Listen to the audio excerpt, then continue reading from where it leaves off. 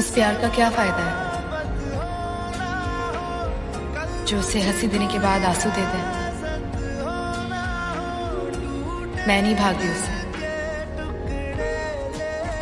मैं उसे बस मेरे पीछे भागने से रोक रही हम्म, मैं फिर